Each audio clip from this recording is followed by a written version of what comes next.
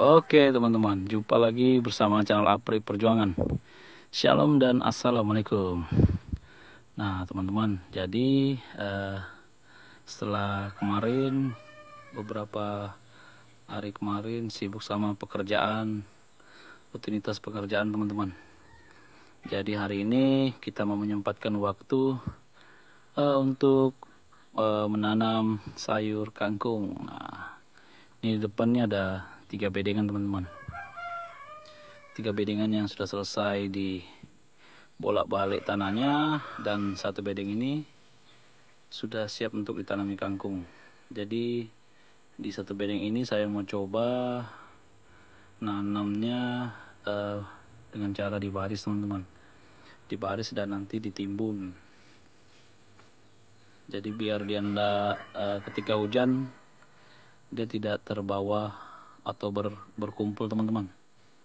Jadi kalau dari timbun tidak tidak bakal terbawa sama air. Jadi di sini saya tidak pakai papan. Jadi bedengannya ini juga saya rubah. Kemarin paretnya ini agak besar dan sekarang sudah saya kasih kecil. Dan di tiga bedeng ini kita mau tanami lombok cabai itu sudah saya tanami teman-teman.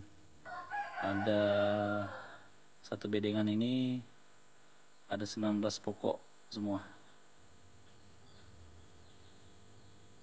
Jadi ada dua bedengan kita tanam gombo dan ini rencana kita mau tanam cabai juga.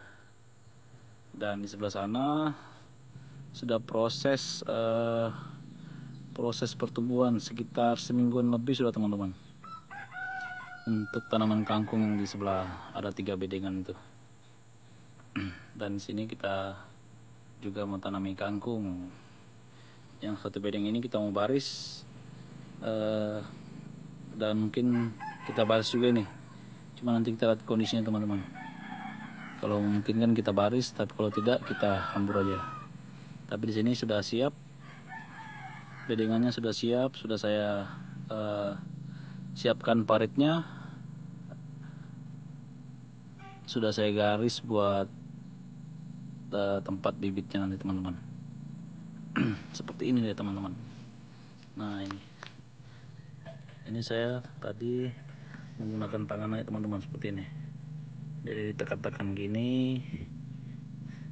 Jaraknya ini uh, cuma dikira-kira ya teman-teman. Jarak jarak uh, kangkung ini. Jarak parit ininya teman-teman ya. Jadi kita kira-kira aja datanya ada berapa parit semuanya? Kayaknya ada seratusan teman-teman. Kalau enggak 50-an lah. 50-an parit. Jadi seperti ini. Nah ini teman-teman. Tadi ini kondisinya mau hujan lagi nih. Kalau kita tidak uh, buat seperti ini nanti dia akan berkumpul. Akan ha, di bawah air berkumpul dan bisa turun ke paritnya teman-teman kita tanamnya dengan cara ditimbun. Di baris. Oke lah kita langsung gas teman-teman. Oke jadi ini bibit kangkung yang kita mau pakai. Ini sisa dari uh, bibit kemarin yang kita hambur di situ teman-teman yang di tiga bedeng kemarin kita beli satu kiloan. Ini sisanya satu kilo lebih kayaknya kemarin. Ini sisanya mungkin ada seperempat ya teman-teman jadi kita beli bibit kangkung yang kiloan.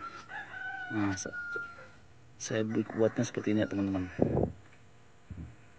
Ambus sedikit-sedikit.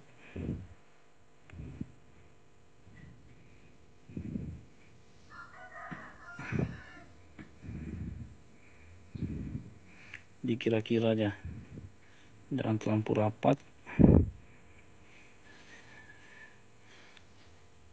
Kalau seperti ini bagusnya juga dia teman-teman. Bakal pasti tumbuh. Pasti tumbuh semua dia. Kalau kita sistem ambul kadang ada yang tidak tumbuh teman-teman. Tidak tahu kenapa. Pakar kangkung kenyang tahu nih teman-teman. Nah ini ada tiga ada empat baris. Tadi dia seperti ini teman-teman. Nah ditimbun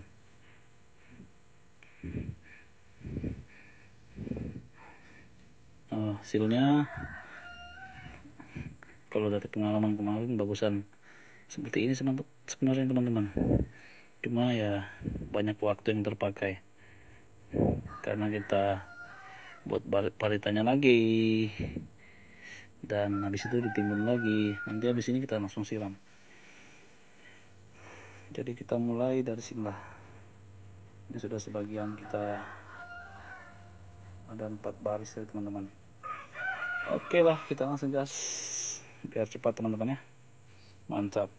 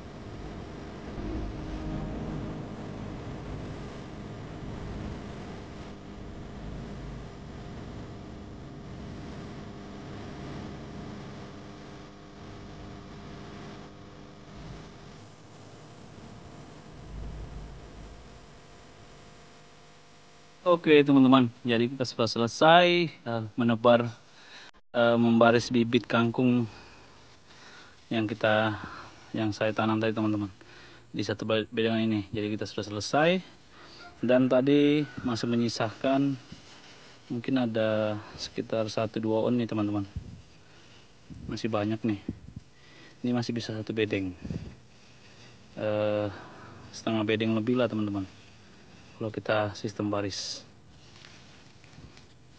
Jadi tadi setelah di uh, setelah dihambur bibitnya langsung kita siram karena biar cepat uh, pecah bijinya teman-teman. Jadi harus di disiram setelah tanam.